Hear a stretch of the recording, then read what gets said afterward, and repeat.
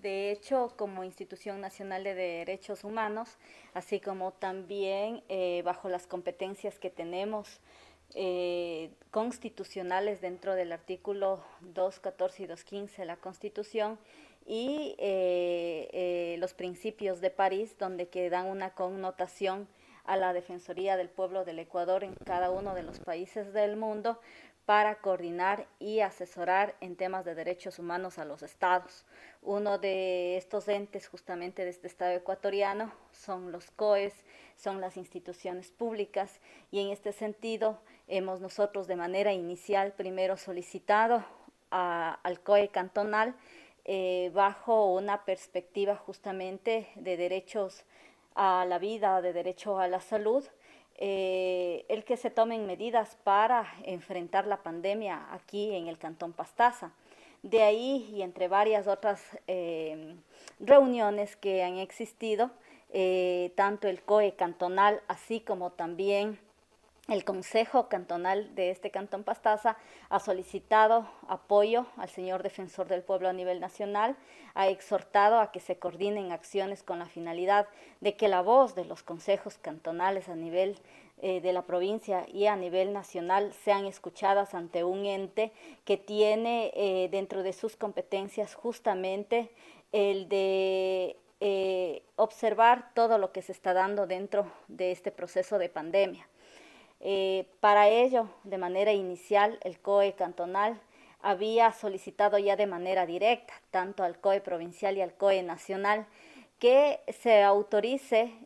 por la realidad propia del cantón Pastaza que se cambie eh, una de las modalidades de este semáforo amarillo en el tema justamente de la movilidad, es decir, reducir la movilidad eh, en un horario de 6 de la tarde a 5 de la mañana, el mismo que fuere negado y a partir de ello pues eh, se toman las decisiones de pedir un apoyo a un ente gubernamental mucho más grande encargado de la eh, justamente precautelar y garantizar derechos como es la Defensoría del Pueblo y se emite este pedido. Eh, nosotros hemos dado toda la información necesaria al señor defensor del pueblo con la finalidad pues de que él analice el ser la voz de este municipio eh, para realizar un exhorto al COE nacional y solicitar entre ellas varias medidas. La primera es de que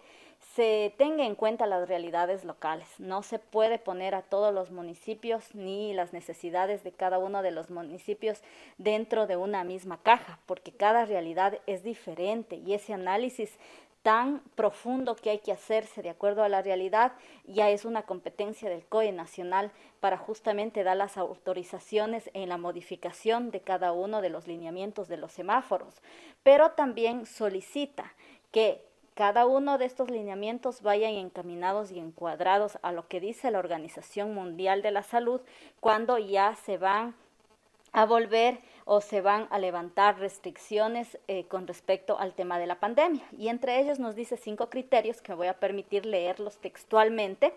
donde que dice que el Sistema Nacional de Salud tenga la capacidad para detectar, diagnosticar, aislar y tratar todos los casos positivos y hacer un seguimiento de cada uno de estos contactos que se puedan minimizar los riesgos de brotes en entornos sensibles como centros de salud o residencias de ancianos,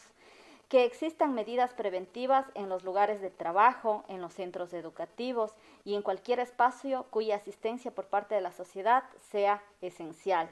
que sea capaz de controlar el riesgo de los casos importados y que la población se encuentre totalmente educada, comprometida y capacitada para adaptarse a estas nuevas formas de convivencia. Entonces aquí también nos dice que si bien el COE nacional ya anunció estos, eh, esta diversidad de criterios y dar autorizaciones a varios municipios eh, respecto a cambios de modalidad, eh, y dentro de ellos se consideró a dos provincias, a la provincia de Morona Santiago y a la provincia de Zamora Chinchipe, dejando de lado el criterio que debía considerar para la provincia de Pastaza, que son realidades diferentes. Hay cantones aquí mismo en la provincia que unos ya incluso quieren pasar a semaforización verde y otros quizás eh, se necesita controlar un poco más por eh, la cantidad de población que está siendo en este momento infectada. Entonces, de acuerdo a estas realidades, se debe tener en cuenta todos estos criterios, para los que quieren pasar a otra semaforización, pero también para los que quieren restringir un poco más el tema de la movilidad, que es lo que más en este momento creo que ha sido una de las causas para que exista este elevado número de contagios. Eh, el señor defensor del pueblo lo ha dicho, ha conversado conmigo y ha manifestado que desde la Defensoría del Pueblo, tanto en el nivel provincial y en el nivel nacional, estamos totalmente comprometidos para trabajar de manera coordinada con todas las autoridades que así lo requieran, bajo las competencias que nos dan los principios de París y la Constitución de la República del Ecuador. Doctora, con este exhorto de este eh, de esta institución gubernamental, de la Defensoría, eh, ¿creen que el COE Nacional lo toma en cuenta, se dé paso a este pedido? Nosotros pensamos en que se va a analizar. Eh, recuerde usted que la figura del defensor del pueblo es esa figura que justamente da lugar a que haya un poco de de igualdad entre todos los sectores, entre todos aquellos que ahorita gozan del poder, del poder de decisiones en este, en este caso, versus los, las autoridades locales que en cambio tienen la necesidad de que se revisen las medidas dentro de cada uno de los cantones. Eh, eh, nosotros pensamos que sí va a ser considerado porque ya un exhorto del parte del defensor del pueblo al Estado significa un ojo, algo está pasando y el Estado tiene que ver todas las medidas necesarias para que los derechos se garanticen, porque recordemos, estamos en un Estado constitucional de derechos, el hecho de que haya con el estado de excepción varios derechos, como en el tema de la movilidad, eh, que, estén limitados no significa que otros derechos estén totalmente limitados. El derecho a la salud, el derecho a la vida, eh, a estos dos derechos vinculados, el tema del trabajo y las necesidades que siguen, eh, que seguimos teniendo todos, ahora también con el tema de que los servidores públicos estamos sin pagos, nosotros en la Defensoría del Pueblo vamos dos meses sin, sin cobrar un sueldo, también se levantan otro tipo de necesidades que son eh, eh, eh, muy importantes para nuestro buen vivir, como es el tema ya propio de, pagar bienes, servicios públicos y demás. En este contexto, el Estado debe analizar muy bien estos pedidos porque es necesario de que se tome conciencia de lo que está pasando en una realidad local que lastimosamente no entendemos. porque al día siguiente de que se emite un documento donde que se niega al Cantón Pastaza el tema de poder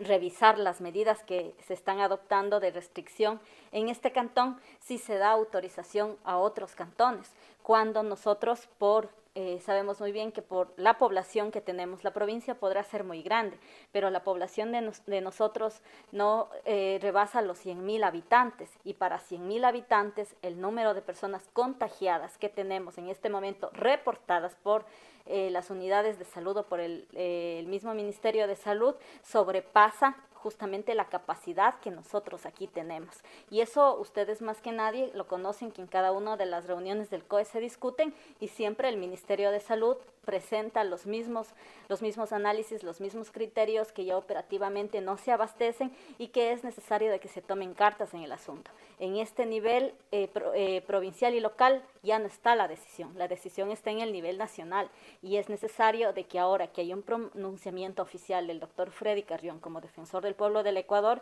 el COE nacional analice esta solicitud y de una u otra manera nos ayude acá a Pastaza para que podamos nosotros tener ya esas autorizaciones referidas y las autoridades locales puedan tomar ya decisiones que vayan encaminadas a precautelar y garantizar los derechos a salud y la vida de nuestra